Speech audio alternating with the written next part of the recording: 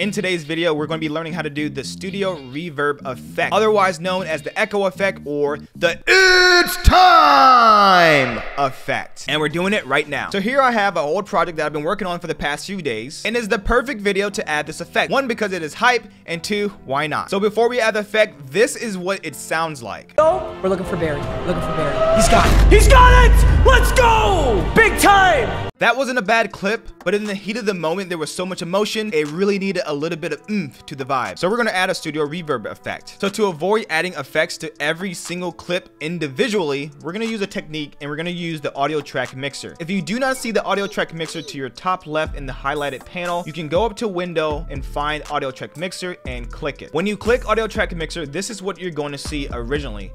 You want to go up and find the top left arrow, click that, and then you're to find the channel that you want that effect on. And this brings me back to what I said before. To avoid adding effects to every individual channel, we're to use an entire track, an audio channel. So if you look down, we have audio one, two, three, four, and so forth. So we're to pick one of these channels that we're not using or we don't use often. If you do small time videos, you probably won't need too many audio channels. If you do gaming and high level editing, you might use a lot of these channels. So pick one that you probably won't use throughout your video. I have chosen to use channel 4, so we're going to click that, go to reverb, studio reverb, double click studio reverb, and it's going to bring you this menu full of parameters. You can use a preset if you don't feel like putting your own parameters, or you can change them yourself. What I like to do is to use a preset and then change it myself. So I'm using vocal reverb large, and I want to change my room size to 40. The decay is the amount of echo that you want. Generally, I like to use 3500 to 4000, so we're going to use 4100 we're gonna go all the way down to dry. I'm gonna put that to 40 or 39, somewhere in that little area. And we're gonna use wet to 79 to 80. Anywhere around that is perfect. We're gonna click the big red X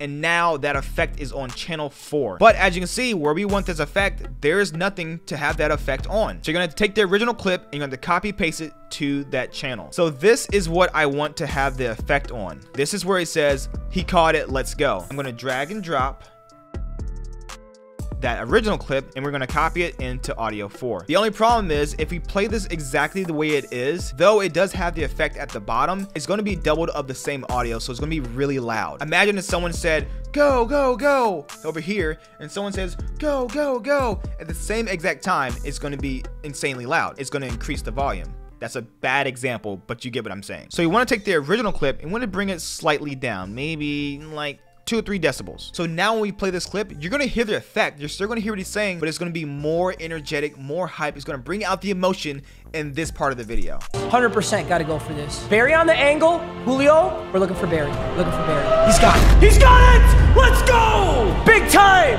I feel- Hey, that's all we have for today's video. If you like today's video, make sure to drop a like, subscribe to our channel, and we'll see you for the next one.